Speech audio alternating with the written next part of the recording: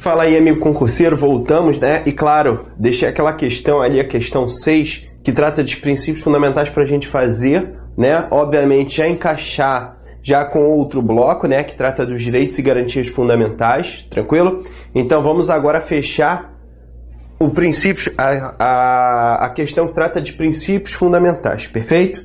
Vamos lá analisar a questão tranquilamente. Vamos lá, ó. Questão 6.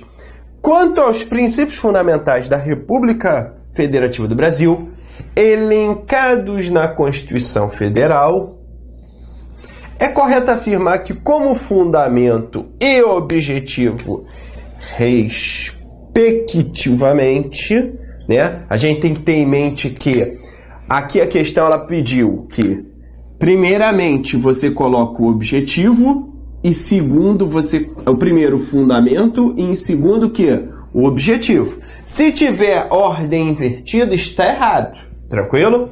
Então vamos para a primeira. Pluralismo político é um fundamento sociediva plu. Perfeito. Um fundamento. E a promoção do bem de todos é um objetivo. Respectivamente, temos um fundamento e um objetivo. Questão está o quê? Questão está certa. É a letra A. Tranquilo? Mas vamos analisar as outras proposições. B. Independência nacional. A independência nacional é um princípio no âmbito internacional. No âmbito não é nenhum objetivo, nenhum fundamento. A construção de uma sociedade livre, justa e solidária. Isso é um objetivo. Logo, não é a B, porque ela botou independência nacional, não é um fundamento. C defesa da paz, princípio no âmbito internacional, e a igualdade entre os Estados. Não é um objetivo. Logo, não é a letra C. D. Soberania da União e a garantia do desenvolvimento nacional. Vamos lá. Soberania não é da União, é da República Federativa do Brasil. Então não temos aqui a soberania para a União. A União tem autonomia, perfeito? Vamos colocar aqui. E a garantia, garantir o desenvolvimento nacional, isso sim que é um objetivo. Logo a letra D também não é. Livre iniciativa é um fundamento. Os valores da livre iniciativa é um fundamento e a eliminação das desigualdades sociais e regionais e não econômicas. Perfeito? Logo, resposta com certeza é a letra A. Beleza, galera? Fechamos aqui princípios fundamentais e vamos, claro, entrar nos direitos e garantias fundamentais e vamos tratar exatamente somente de questões da FUNCAB. Tranquilo? Agora vamos analisar uma coisa. Direitos e garantias fundamentais é o título 2 da Constituição, né? Eu vou colocar aqui de vermelho. Título 2 é o título 2 da nossa Constituição Federal, que trata dos direitos e garantias fundamentais. Esses direitos e garantias fundamentais, né? A gente tem um leque de direitos e deveres individuais e coletivos, direitos sociais, da nacionalidade, dos direitos políticos e dos partidos políticos.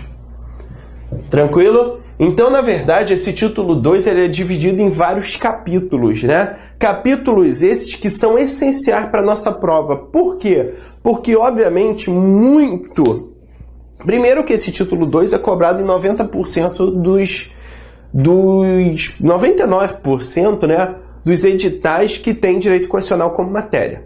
Tranquilo?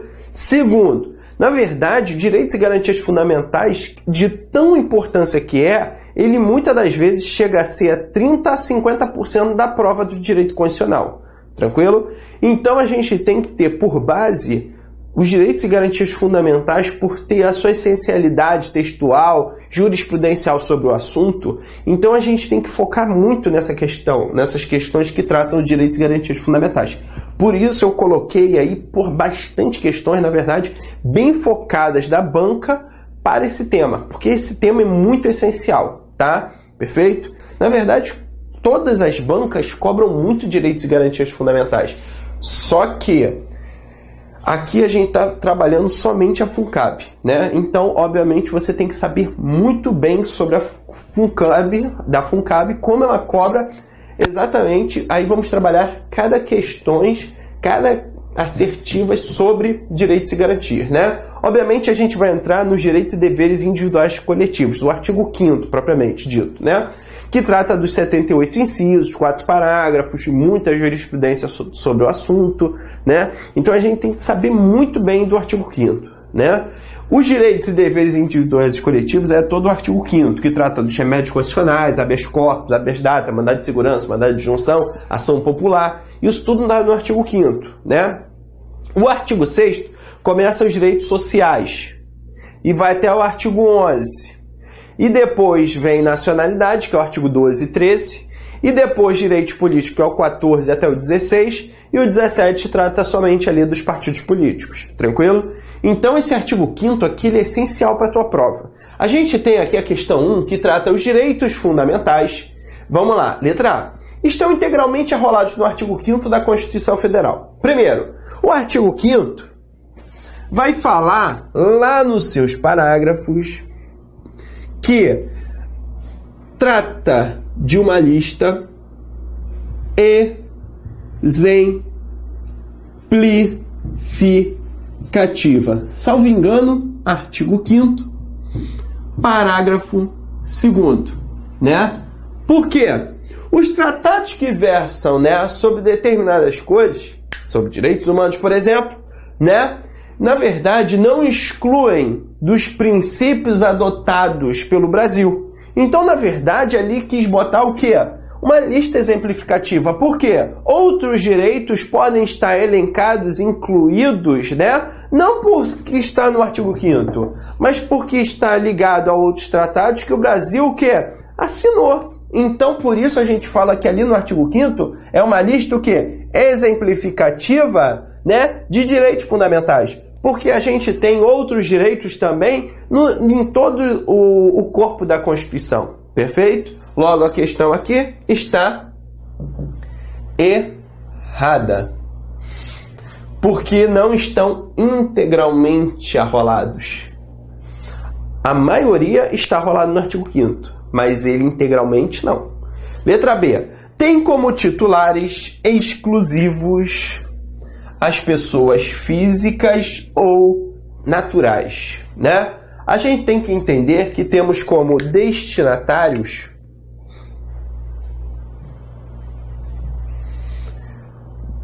dos direitos fundamentais tanto pessoa física quanto pessoa o que jurídica, né? A gente tem que ter a primeira base o que que dos direitos fundamentais, muitos também vão ser aplicados não apenas às pessoas físicas, né, pessoas naturais, mas também vamos ter direitos ali aplicados às pessoas jurídicas.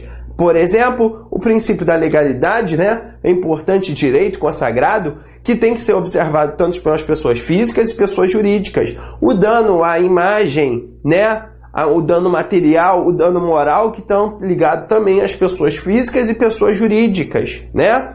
O direito de petição, direito de certidão, tanto são direitos de pessoas físicas e pessoas o quê? Jurídicas, né? Então, devido ao processo legal, tanto para as pessoas físicas quanto para as pessoas o quê? Jurídicas. Então, nesse caso, os titulares das, dos direitos fundamentais são tanto as pessoas físicas tanto as pessoas jurídicas. Só que pessoas jurídicas não dá para aplicar todos os direitos que também são para as pessoas físicas. Perfeito? Mas a titularidade não é exclusivo das pessoas físicas. Não, pelo contrário, tanto pessoas físicas, tanto pessoas jurídicas. Perfeito? C.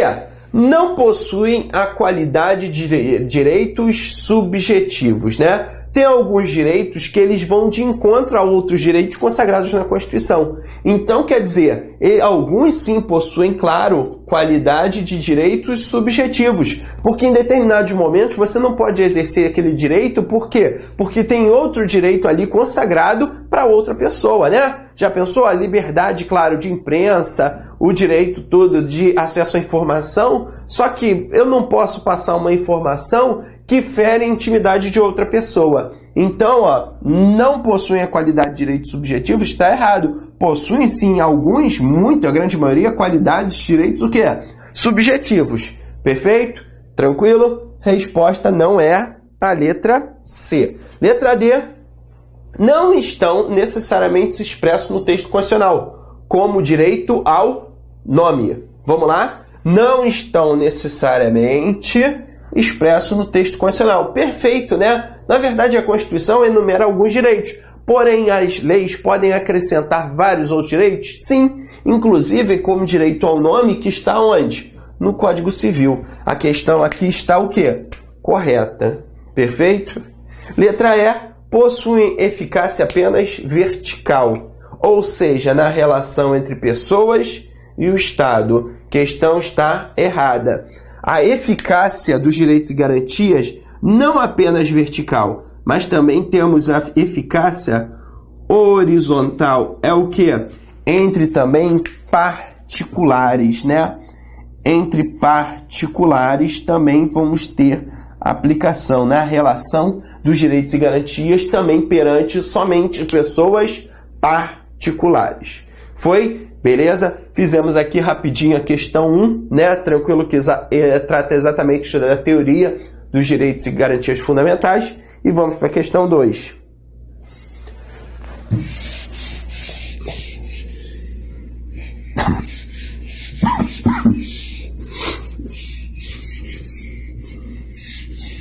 Questão 2. Vamos aqui, eu deixei para esse lado aqui. Questão 2, vamos lá. Ao regular as hipóteses de privação de liberdade, a Constituição Federal, o que, que a Constituição Federal fala? Letra A. Admite-se hipótese de prisão de, por dívida civil? Caramba! Temos a possibilidade em relação à privação de liberdade, né? Primeira coisa, a Constituição Federal dá possibilidade de penalidade de privação da liberdade? Sim. A privação de liberdade ou é para pela reclusão ou detenção, né? Reclusão ou a detenção. Que na verdade a privação da liberdade é na esfera penal. Só que a gente tem na Constituição Federal hipótese também de prisão por dívida civil. Perfeito? Quando é a obrigação alimentícia. Nesse caso, há possibilidade da privação de quê? Da liberdade. Perfeito? A gente tem que analisar também a súmula vinculante, né? Que trata da prisão por dívida do depositário infiel. Aí a gente tem que analisar a súmula vinculante número 25, que fala que não cabe prisão civil por dívida do depositário infiel, seja qual for a modalidade de depósito. Perfeito? Letra B. Admite-se a prisão. Então, deixa eu marcar aqui. Letra A tá certa, perfeito. Marquei logo a letra A. Se você criou dúvida na hora da, da resolução da questão, né, numa prova, na hora mesmo da prova, no calor da prova ali, você está empolgado, aí você, porra, admite-se de prisão por dívida civil. A Constituição dá essa possibilidade, né? Tanto é que eu botei aqui o exemplo, obrigação alimentícia. Perfeito. Se você criou uma dúvida muito assim, nossa, admite-se uma hipótese, tem uma exceção? Tem, porque na verdade a regra na, na esfera civil é não prender. né? É pagar a indenização. Só que a gente tem a possibilidade da prisão daquela pessoa que contrariou uma dívida de obrigação alimentícia. Tranquilo? Então você vai por quê? Ficou dúvida na letra A? Vai para a letra B. Vamos lá. Admite-se a prisão apenas quando a ordem escrita e fundamentada de autoridade judiciária competente. A gente tem que saber, na verdade, que quais hipóteses que uma pessoa pode ser presa. Aqui admite-se a prisão apenas. Esse apenas tem sentido de somente. Né? A gente fala que somente vai ter prisão nessa hipótese, quando ocorrer ordem escrita e fundamentada de autoridade judiciária competente. Caraca, quando você pega e para para ler, você, pô, caramba, a questão está certa, né? Só que aqui ele perguntando se tem somente essa possibilidade. A gente tem que parar para pensar e analisar se tem alguma exceção a essa regra. E temos, né? Ninguém poderá ser preso, salvo no caso de quê? Flagrante delito. Opa! Flagrante. Flagrante, o camarada vai ser uma ordem escrita e fundamentada? Não. Então já não pode ser o quê? Apenas somente nessa hipótese. Perfeito? A gente tem o quê? Flagrante delito. Segundo caso, transgressão militar.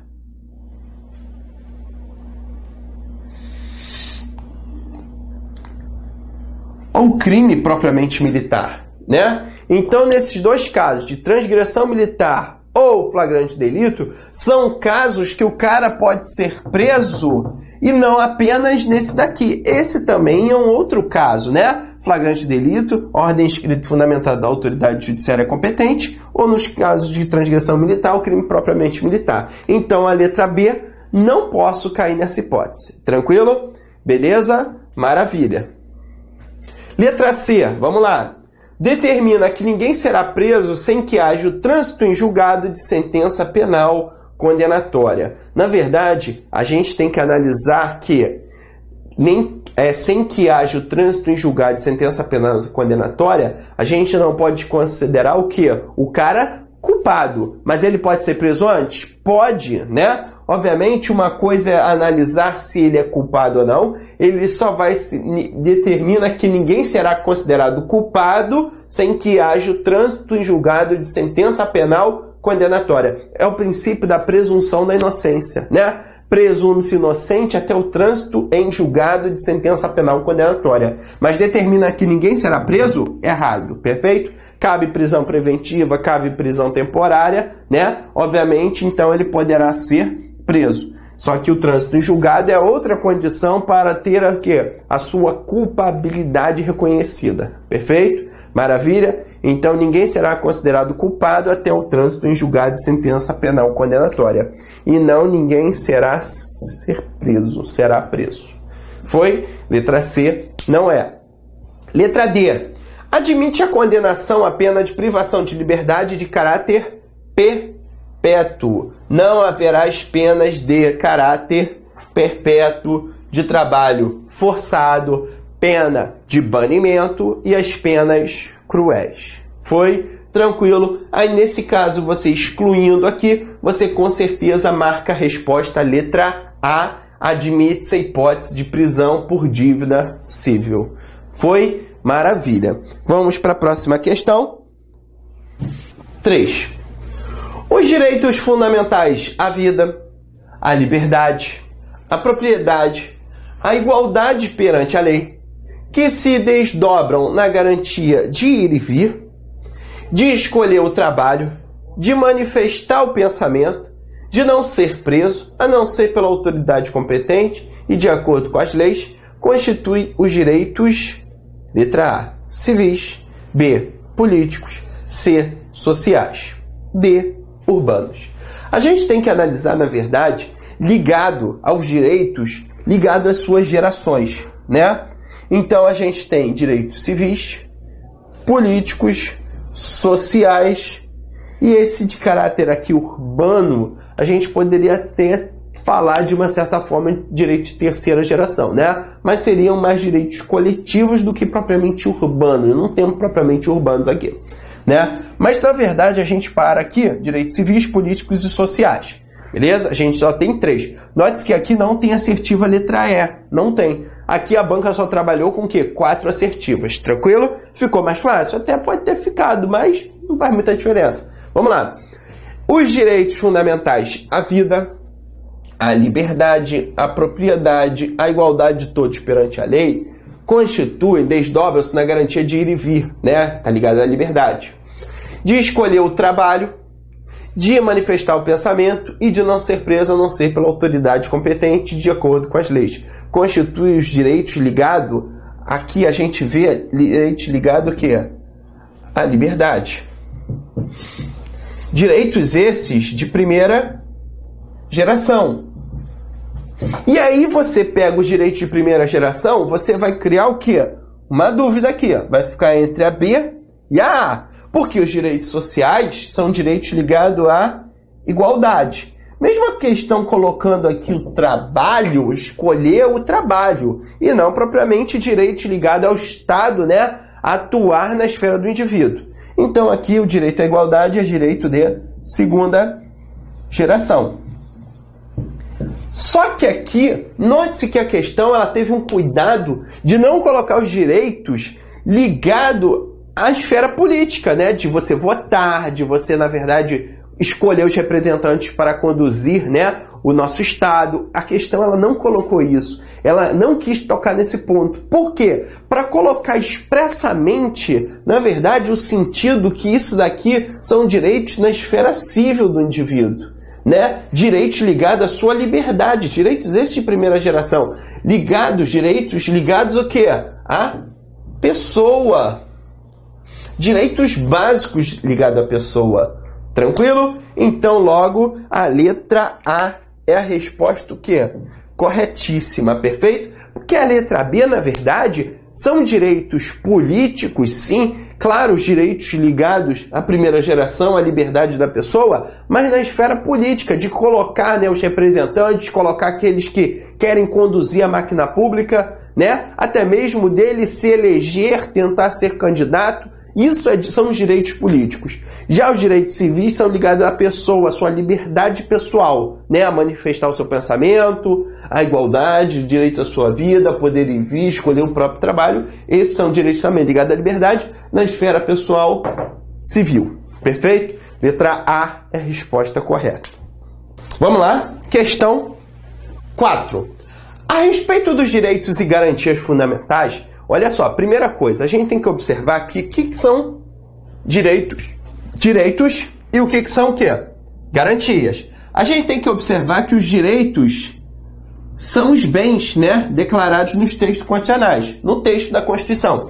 Já as garantias são instrumentos de proteção a esse direito.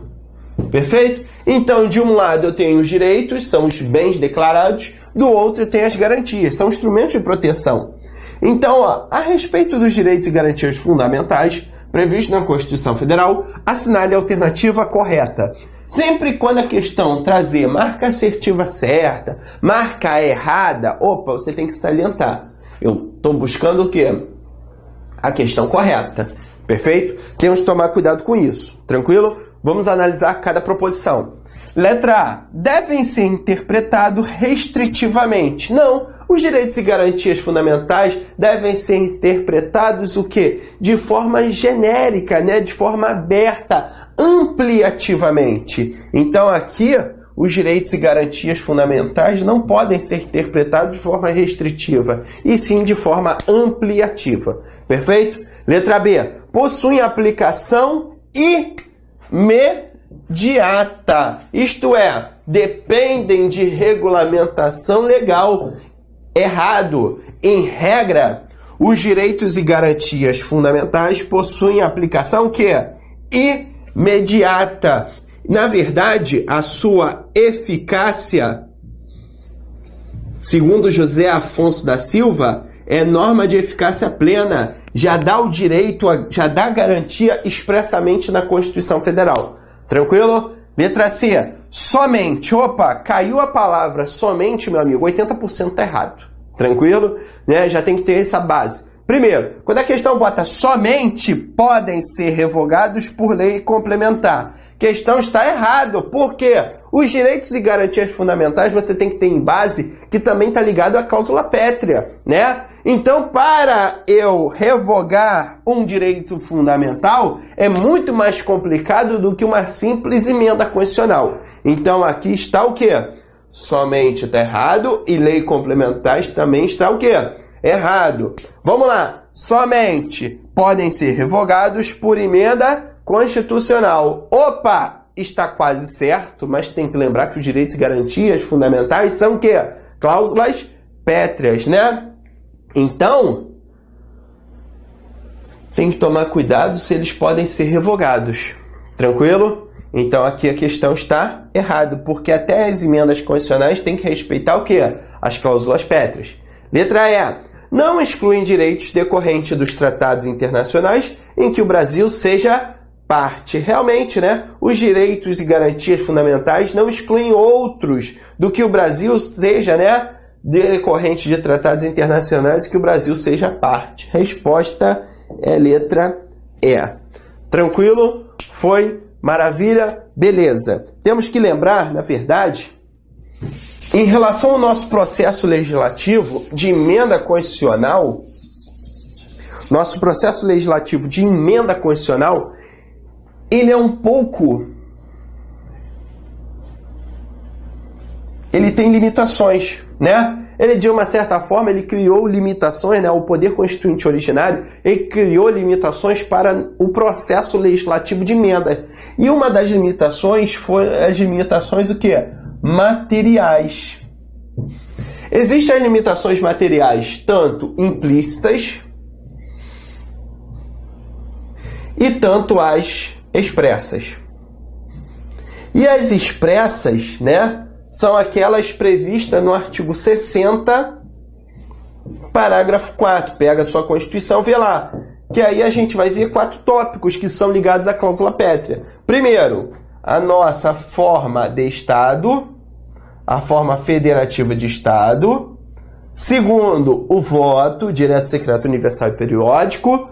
Terceiro, a separação dos poderes e os direitos e garantias individuais, também é cláusula pétrea. Perfeito? Então a gente tem que tomar cuidado com isso. Uma emenda constitucional pode revogar algum direito, alguma garantia individual? Não pode. Eles são limitações materiais ligadas às cláusulas pétreas, né? A determinados matérias, a determinados conteúdos que mexem, interferem diretamente com a identidade do nosso Estado. Perfeito? Tranquilo? Então temos que tomar cuidado também com essa, esse ponto aqui da questão. Né? Vamos lá, questão número 5.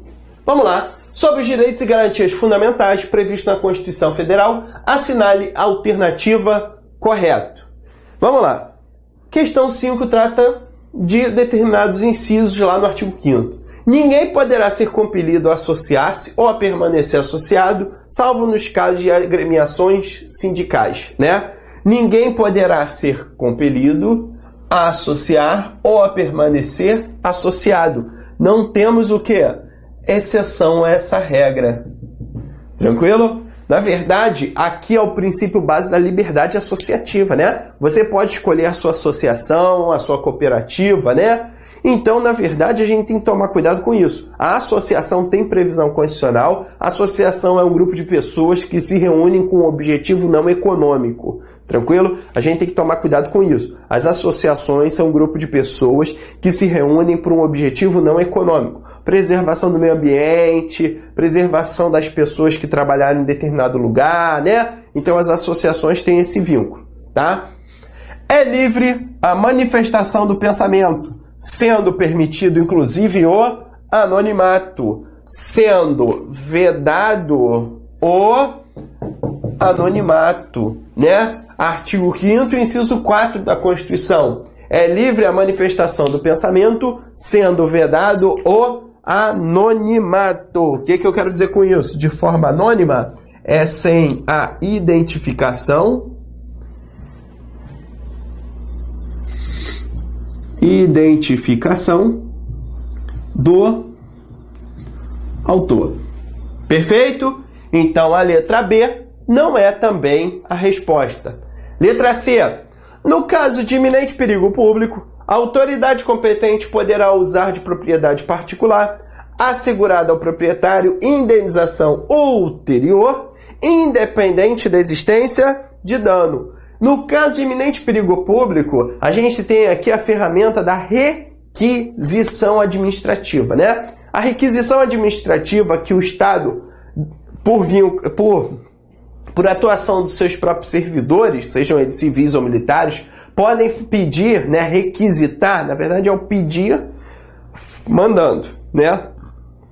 Requisitar de forma administrativa um ato, isso daí é ato autoexecutório, eles fazem, né, sem precisar de ordem judicial, o próprio servidor vai pedir ali para você, é, vai pedir o teu carro, vai pedir a tua propriedade, né? Porque no caso de iminente perigo público, a autoridade competente poderá usar de propriedade particular, assegurada ao proprietário indenização posterior, ulterior ou depois, se no caso da existência de dano, a indenização está vinculada à existência de dano, porque se não tiver efeito danoso, né, não há de se falar em quê? Na indenização. Perfeito?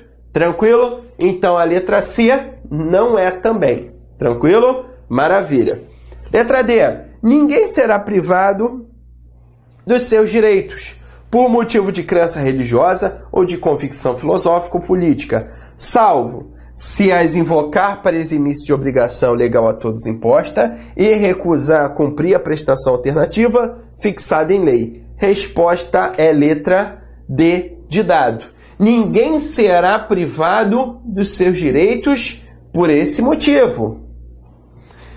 Salvo se eles invocar para eximir-se de obrigação legal a todos imposta e também não cumprir a prestação alternativa. Aí sim que ele pode ser privado dos seus direitos. Resposta é letra D de dado.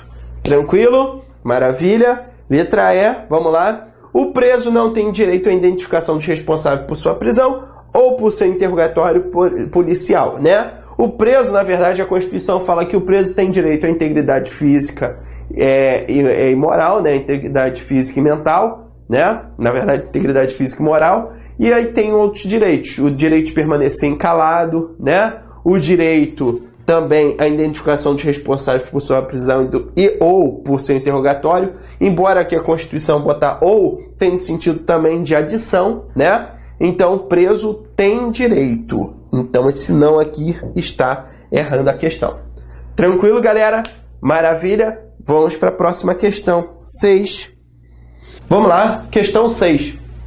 Com relação ao tema direitos individuais e coletivos, na Constituição Federal de 88, assinale a alternativa correta. Você vai marcar? Acerta. Perfeito. Vamos lá. Letra A.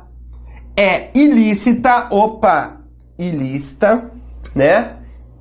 É ilícita a prisão civil do depositário infiel, qualquer que seja a modalidade do depósito.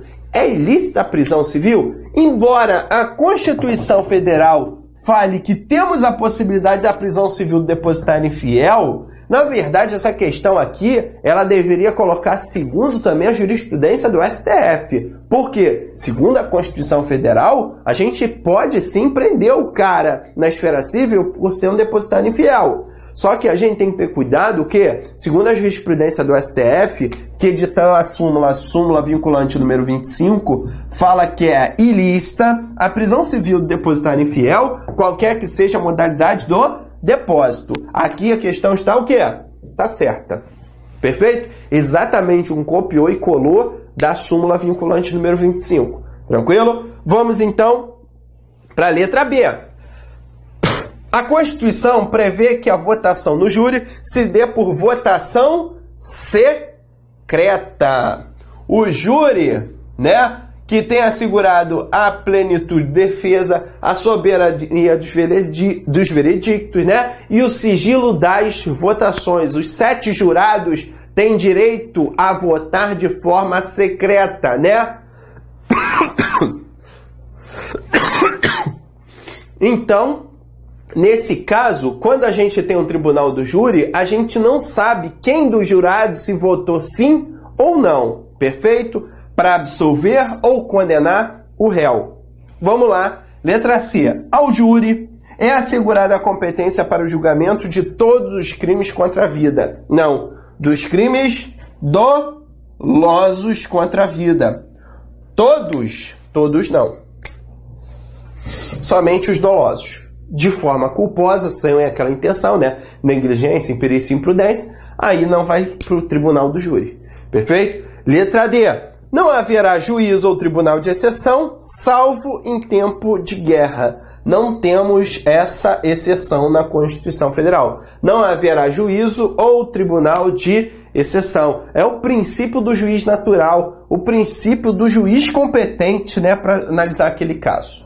Tranquilo? Letra E. O exercício de qualquer trabalho depende de autorização da repartição competente, né? É livre qualquer trabalho, ofício ou profissão, atendido às qualificações na forma da lei. Perfeito? Então, logo, resposta é letra A. Tranquilo, galera? Maravilha? Fechamos essa primeira parte aqui, né, dos direitos e garantias fundamentais. Nos vemos aí no próximo bloco. Um forte abraço.